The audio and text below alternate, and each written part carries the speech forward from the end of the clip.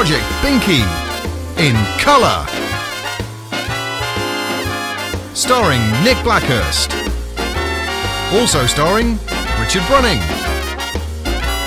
And Rex Hamilton as Abraham Lincoln.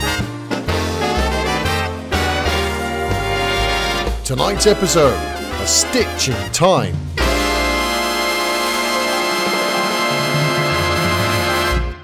Coming up in episode 38, Nick shows signs of experiencing a psychotic episode.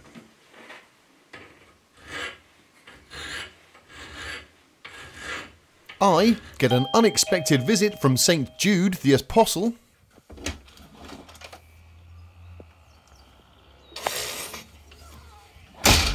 And we both draft in a couple of experts to sort the cramped rear seat situation. See, there's loads of room. At the end of the previous episode, we'd fitted the brakes and the spectacular three piece custom split rims, and we'd identified and fixed several issues that were thrown up after nailing the Mini together quickly to take it to a show. After that, against Nick's wishes and contrary to our better judgment, we nailed the Mini together quickly to take it to another show. What could possibly go wrong, I hear you ask? Well, my friends, let us count the ways. Just getting it on and off the trailer gouged lumps out of the spectacular three piece custom split rims. Launching it over a large rock dented the brace and split my carefully applied exhaust wrap. Reversing it into the lorry pulled the inserts clean out of the arch. And no, you haven't missed the first drive. All of this, along with getting it caked in mud, was achieved in less than a quarter of a mile total. But back in the workshop, we've stripped it down and we're back to where we left off last time. So now we're back where we ended up. We can actually begin the final assembly. And we'll start by finishing the engine bay. This should go together quite quickly and easily. None of this stuff is new, you've seen it all before. It's just been to Andy's to get powder coated. The washer bottle, if you remember, was designed to triple duty. It's the washer bottle, it serves also as the inner wing, and it allows the horns to be mounted to it.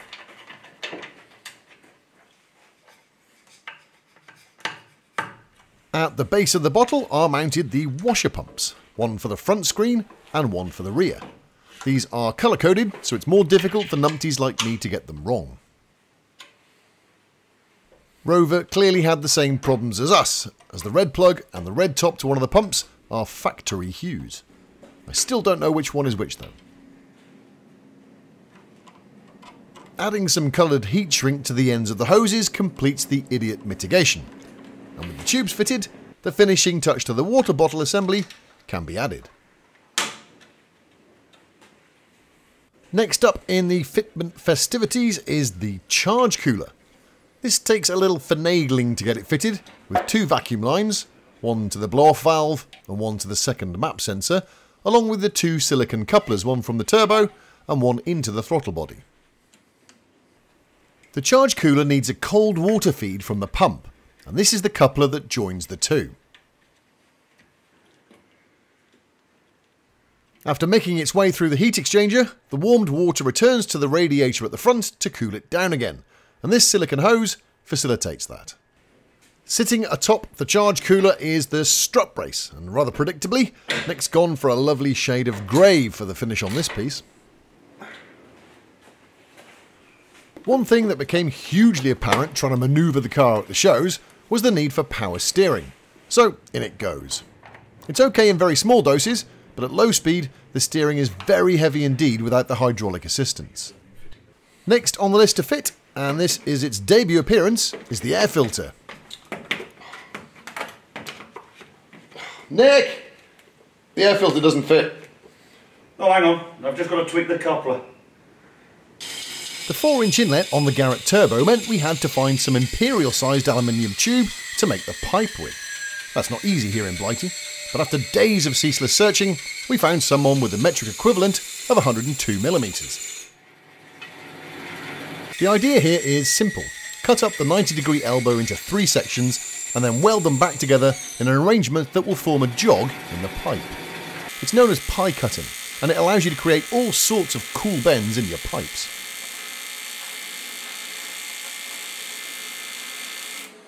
Both ends require a new bead to be rolled in, so it's off to the bead roller to roll those beads. The silicon joiner at the turbo end has enough support there, but we don't want the other end flapping in the breeze, especially with a great big cone filter hanging off the end. So a bracket is tigged onto the tube. Feels like an awfully long time since I said that. Hmm, bracket. To judge the relative efficiency of our charge cooler, we've elected to fit an air temperature sensor inside the inlet pipe. This will allow us to log the temperature of the air pre and post turbo, with the inlet air temperature sensor already fitted in the manifold taking care of the latter. We whipped up a quick boss on the lathe, and now to finish the inlet pipe itself, the boss is welded into position.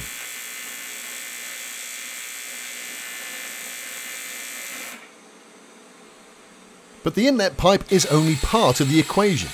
We're situating the air filter inside the passenger side wheel well, so it's in cool, fresh air away from the engine. So we need to make the inner wing section that will seal off the engine bay from the wheel well while allowing us to pass Nick's massive pipe through it.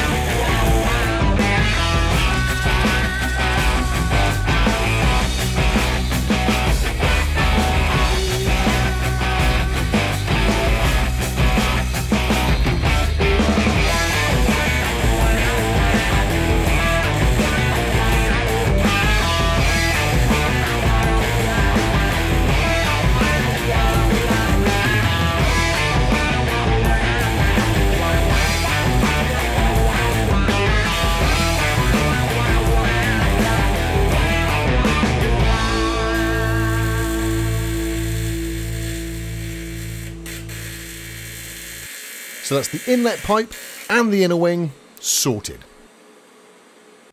Once powder coated, they look very much like this. And now the air temperature sensor can get screwed in.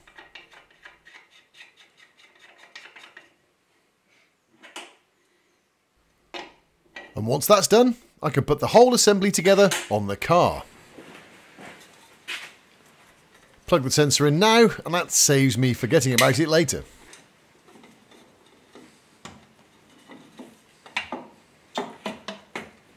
Nick, this doesn't fit either. It's hitting the power steering pump. Oh yeah, hang on, I've got to change the cap. I get the feeling that changing the power steering reservoir cap might be slightly more complex than Nick let on. So while he gets on with that, I'm gonna get the funk out.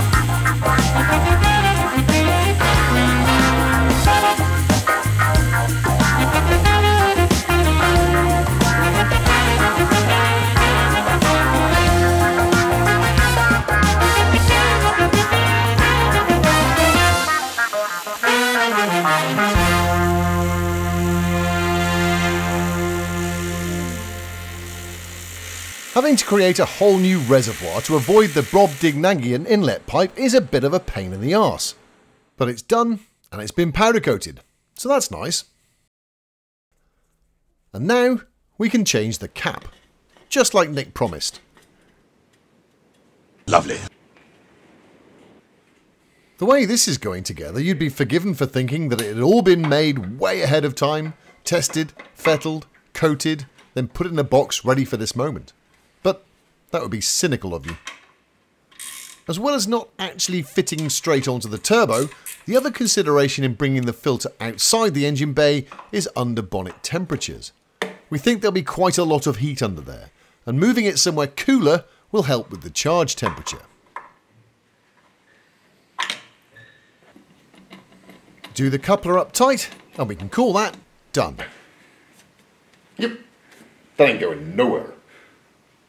I know what you're thinking. The inner wheel well is a ridiculous location for an intake. Water and detritus from the tyre can very quickly clog up the air filter. But don't worry, we got it covered.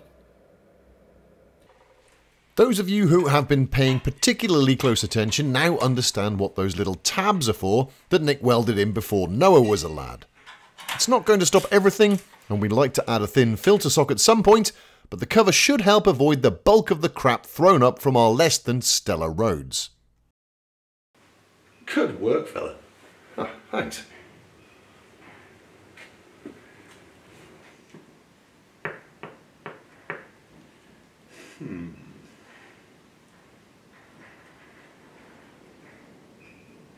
What? Nothing? It's never nothing though, is it? He's spotted a space, and I'm now suspicious. As well as what we conventionally know as engine breathing, that is, the air coming into the cylinder to be compressed and then expelled through the exhaust after the power stroke, there's an awful lot of other respiratory forces at work that need accounting for. The action of the rotating assembly creates windage, the combustion gases can leak past the rings in something called blow-by, and if there isn't sufficient crankcase ventilation, that can cause suboptimal occurrences. In most road cars, the rocker cover breather is connected into the intake pipe, and these days there's a complicated PCV system of valves and tubes and heaters and fans and stuff. It's all designed to reduce emissions. But that's a ache, so we're just going to make an aluminium box for the engine to breathe through. After cutting out the main body of the catch tank on the bandsaw, the bender puts the corners in and then uses his favourite hammer to tighten them up and flatten the alley. It's then off to the TIG welder to make the join.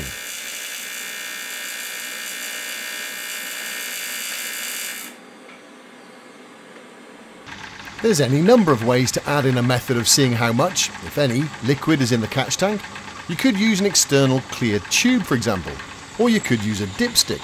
But he's busy creating a boss for the tank that will accept a sight glass. I'm pretty sure that this is the biggest tap we have in the shed. We bought it special like. And it's Imperial.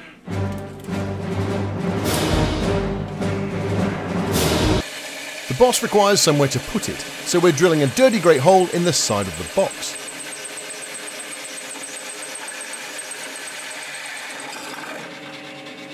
The boss can then get tigged into place. It's not quite a stack of dimes, as the Yanks like to say, but that's plenty good enough for the girls I go out with. The rocker cover and the catch tank are going to be connected using a piece of silicon hose, and whilst there's already a suitable fitting on the engine, we need a barbed tube on the catch tank.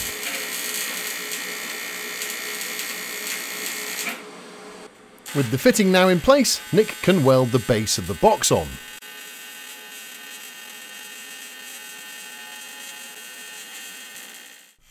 The top of the catch tank has this little diverter plate situated right behind the fitting. The gases will hit this plate, the liquids will condense, and then drip off into the bottom of the tank. At least, that's the theory. The top is then tigged onto the box. The angled fitting in the foreground here is the connection to the rocker cover. The smaller straight one on the other side is for a little air filter to be attached to. It's very cute. You'll see it in a minute. But not before the final piece of the project, the bracket that allows us to bolt it to the engine. Very important that. The catch tank is back from the powder coaters and I can finish it off by adding the sight glass. This system is under barely any pressure and the barbed ends on the fittings mean the silicon elbow fits nice and snugly, so there's no need for hose clamps. After all, they add weight, and we're very much aligned with Colin Chapman's ethos of simplify and add lightness. The finishing touch is to add the little air filter, and now we really can call that job done. Excellent.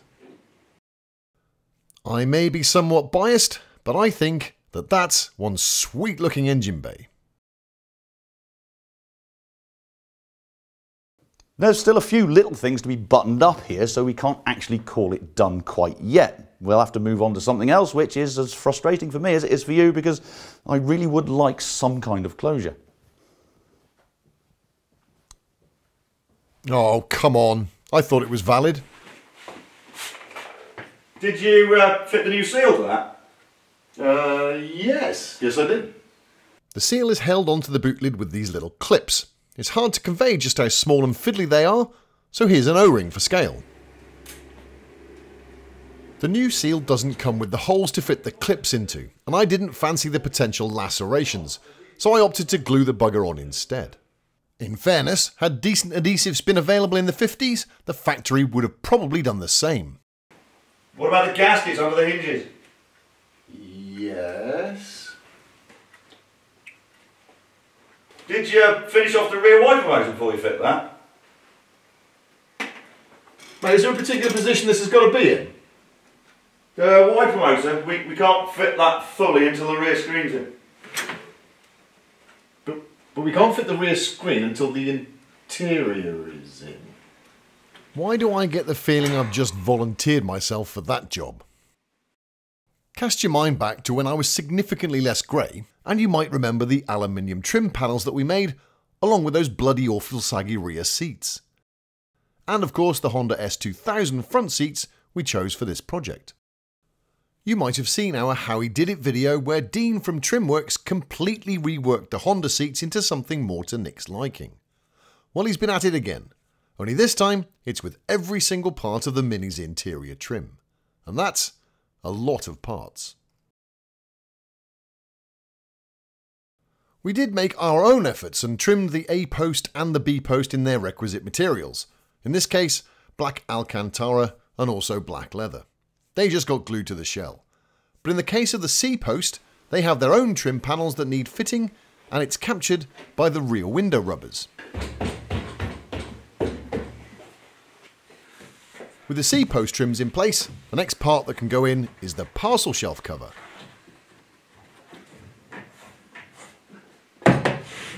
It may be carpet on the bottom, but yes, it is embossed. Yes, it is Alcantara, and yes, Nick is a massive tart. Moving forward, we can fit the rear quarter trim panels. Covered in thin foam and black leather, the trim extends a little way onto the back side of the panel so there's no chance of rattling or indeed galvanic corrosion. I know one or two of you have been concerned about that. Rest assured, we've taken steps. Immediately after the panel went in, it had to come out again because Nick forgot to put the wheel arch covers on, which tuck behind the quarter panel trim. The raised white rectangle there on the wheel arch is a 4mm thick spreader plate for the unlikely event we decide to put a roll cage in the car. The leather trim hides that nicely. Next up for installation are the seat belts, and these go in the standard Mini position using the standard Mini fasteners, but there's little standard Mini about these belts. More on that in a minute. The companion box cap is held in using a combination of two trim clips and four screws from the speakers. The screws need their chimney nuts fitting now before we forget.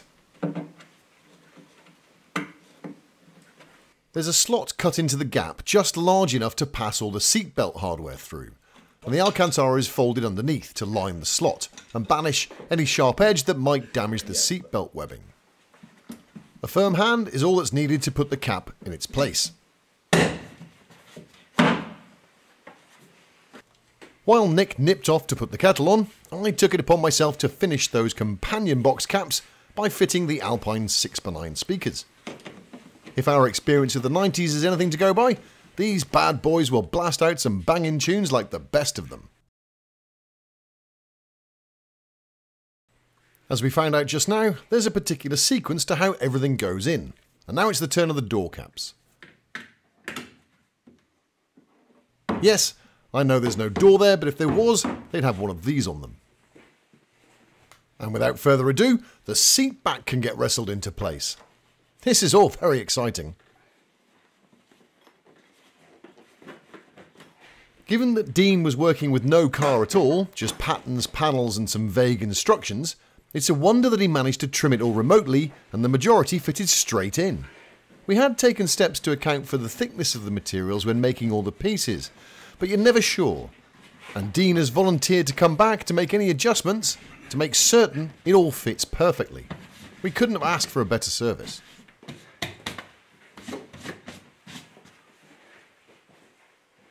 With the rear seats in, the front seats were getting lonely, so it was only fair to fit the passenger side seat, resplendent in its Kia inspired, Subaru featured, tooth textured loveliness.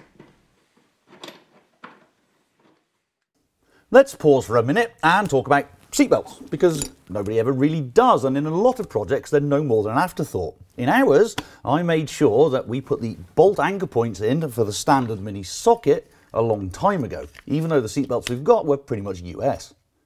For many reasons, it would have been very nice to use the Honda socket that came attached to the frame of the seat. But no mini seatbelt has a tongue that will fit it. And nor could we find any other seatbelt, including a Honda, that would fit into a Mini.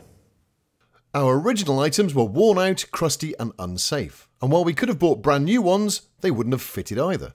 So we searched high and low for a quick, easy, and cheap OEM way to do it. But we were left wanting. So you're probably wondering why this is still here. Thank you, Brigitte. Oh, yeah. I'm not entirely sure how, but this ended up as my problem. But luckily, I knew a bloke called Carey. Carey runs Safety Belt Services, and they service safety belts. And a quick call confirmed that he could indeed service and reweb our units in black and supply them with a brand new tongue that will fit our Honda clasps. All this for no more than a new pair that wouldn't fit. A service like this is a godsend to custom and vintage car builders and restorers. I don't know what bollocks he just told you, but it almost certainly shows that if you think a job is worth doing, it's worth getting someone else to do it.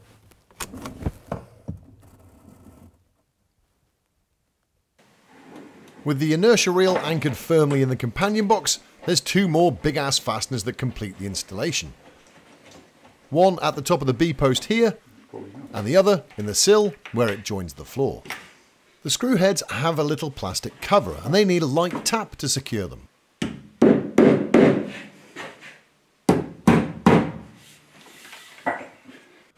Carey even managed to find us new black covers for the upper belt anchor. With the driver's seat in, we can move on to the door cards, although we probably need a door in order to be able to fit those. Even bare like this, the door has got some gravity to her.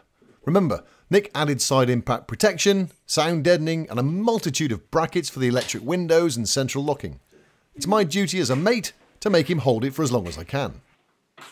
After originally building the doors up, sorting the electrics and the associated mechanisms, they were stripped down completely so they could be painted. So, assembly is just the reverse of disassembly, isn't it? Except it's never that easy, especially where we're concerned. You see, every single part of the original assembly has either been redesigned or upgraded or painted, or in fact, any combination of those. And there's a prime example the old rods on the top and the shiny new stronger ones on the bottom. With all the parts ready to go, we may as well get on with installing them.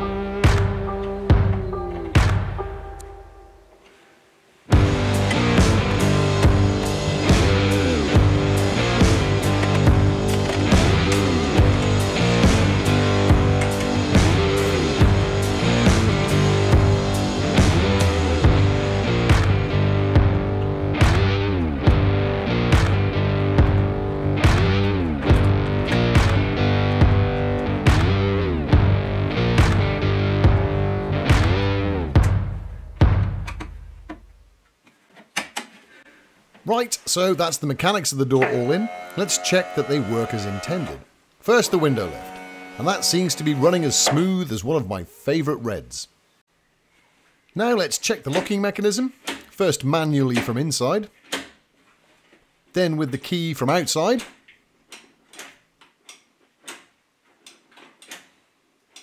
and finally using the power probe to fire the remote central locking. That all looks hunky-dory, tickety-boo, and indeed the dog's danglies. Now we can add the soft furnishings. We built the door card up on the bench, and it's mainly held on by pop-in trim clips with just a couple of hidden fasteners. Actually, that's something we've worked really hard on. hard on. Anyway, there's not a single solitary exposed fastener anywhere on the interior of the Mini. They're all hidden. Just like a real car.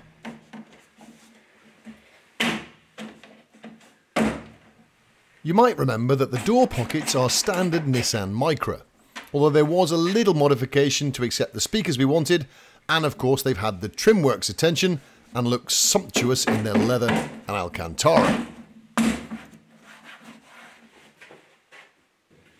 After the chrome strip is clipped in at the top, the final piece of the puzzle for now is the door cap. This is very much a test fit and fettle, but we're pretty happy with it so far.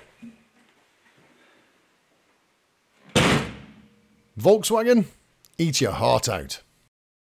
The near side door has also had the treatment, and bar the column surround, the centre console, the door handle trims, and one or two small things to finish off, that's the interior pretty much sorted. The camera doesn't really do it justice, but all we can tell you is that this Mini is now definitive proof of dark matter. It sucks the light in. It is lush though. The last of the big things we have to sort is the dashboard. But we bought a brand new carbon fibre wrap dash that'll fit straight in, and a beautiful set of matching Smith's classic gauges specifically for the job. How hard can it be, right?